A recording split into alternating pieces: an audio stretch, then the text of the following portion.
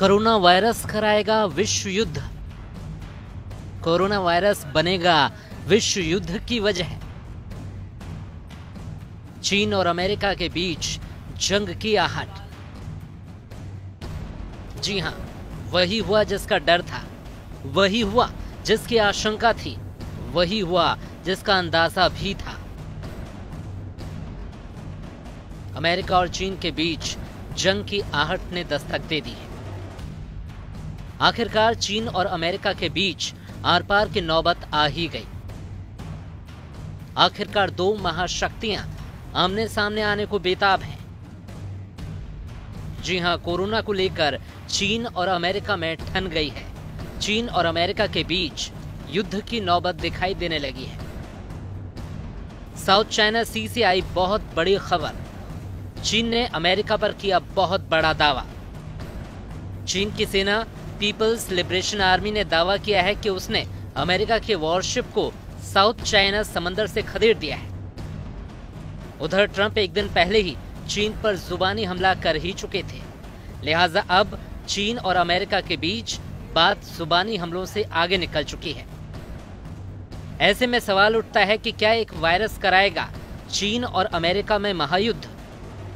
यहाँ तक कि कोरोना वायरस को चीनी वायरस कहने वाले ट्रंप ही थे। ट्रंप की नाराज़गी इतने पर ही नहीं रुकी। इसके आगे उन्होंने चीन को कटघरे में खड़ा करते हुए कहा कि वुहान से ही इस वायरस को फैलने से रोका जा सकता था, मगर चीन ने ऐसा नहीं किया। चलिए अब आपको साउथ चाइना सी के ताज़ा हालात बताते हैं। चीन का दावा है कि साउथ चाइना सी में अमेरिकी वॉरशिप को देखा गया। जिस वॉरशिप को देखा गया, वो guided missile destroyer USS Barry था।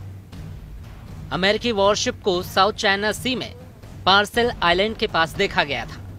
अब चीन की पीएलए का दावा है कि वॉरशिप बिना इजाज़त के सीमा में दाखिल हुआ था।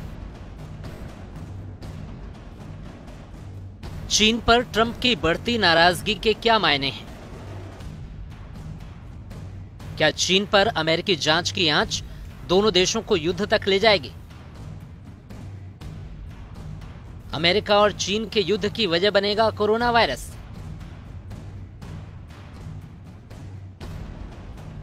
चीन के सनसनीखेज खुलासे के बाद उम्मीद जताई जा रही थी कि अमेरिका कुछ न कुछ पलटवार ज़रूर करेगा। लेकिन अब तक अमेरिका की तरफ़ से ना तो कोई सफ़ाई आई है और ना ही कोई बयान आया है।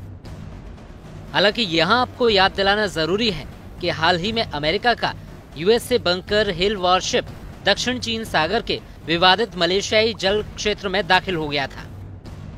जिस हिसाब से हालात तेज़ी से बदल रहे हैं, वायरस की वजह से जंग के हालात बन रहे हैं तो ये जान लेना भी बेहद ज़रूरी है कि चीन और अमेरिका अपनी अपनी सामरिक शक्तियों के साथ किस पायदान पर खड़े हैं और दोनों देशों की सैन्य शक्ति की केमिस्ट्री क्या है। पूरी दुनिया में सैन्य शक्ति के मामले में अमेरिका पहले नंबर पर है। सैन्य शक्ति के मामले में चीन तीसरे नंबर पर है। अमेरिका के पास 14 लाख सैनिक हैं। चीन के पास 21 लाख तिरासी हज़ार सैनिक हैं। अमेरिका के पास कॉम्बैट एयरक्राफ्ट दो हज़ार है। चीन के पास कॉम्बैट एयरक्राफ्ट संख्या एक हज़ार दो सौ बत्तीस है। अमेरिका के पास अटैक हेलीकॉप्टर नौ है, जबकि चीन के पास दो सौ इक्यासी अटैक हेलीकॉप्टर हैं। अमेरिका के पास छह हज़ार दो सौ नवासी टैंक हैं, जबकि चीन के पास करीब 3500 टैंक हैं। अमेरिका के पास 775 युद्धपोत हैं। चीन के पास जंगी जहाजों की संख्या 371 है। अमेरिका के पास छह परमाणु बम है, जबकि चीन के पास मात्र 290 परमाणु बम मौजूद हैं।